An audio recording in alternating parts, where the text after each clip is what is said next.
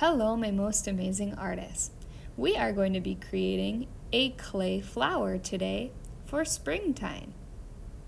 First, we're going to need to make our clay into a ball. So I am going to turn and press so that I can create a nice ball or sphere shape. Then I'll take my thumb up and put my thumb in. Then I'm going to smooth any of those different cracks that are happening on my clay. Then I'm going to take my shark mouth hand and pinch while I turn my clay. This is called a pinch pot. If it helps you, you can also do this on the table instead of in your hands. Then again, I'm going to go around and smooth any cracks. Once I am satisfied or I like how it is looking, I am going to take that little pinch pot bowl of clay, give it a tap on the table to make it flat. Then I'm going to take my plastic knife and create some cuts down the clay. You do not want to cut all the way through because you want to leave the bottom that is not cut so that your flower can still stay together. Then you can either poke some holes, not all the way through, to create the center of your flower, or you could add a center in with clay. Now you can get creative. You can add any kind of bugs or leaves or details that you would like. You can create maybe a bumblebee with some rounded wings. Maybe you want to create a caterpillar or a worm on your flower.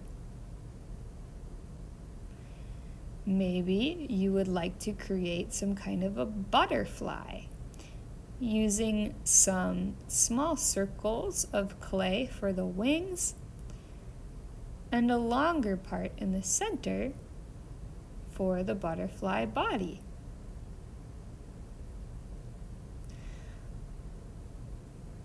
Get creative. I can't wait to see what you come up with. Remember that anything you add and any time that you add clay to clay, you must scratch and attach.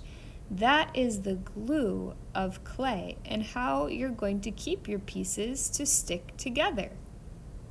Scratch and attach, both where you're adding the clay and what clay you are adding. Watch this in slow motion. I'm scratching my bumblebee, going one way with my scratches and then crisscrossing them. Then I'm also going to scratch where I add my piece. Watch how I figured out where I wanted it to go on the flower and now I'm scratching there as well. Now I'm ready to take one fingertip of water and put it onto my scratches.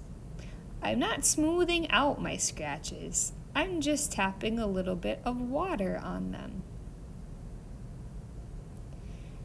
Then I'm ready to put those scratch marks together.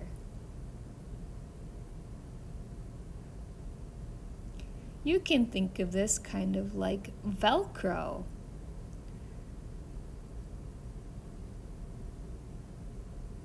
It is the glue of clay to scratch and attach every time you add clay to clay.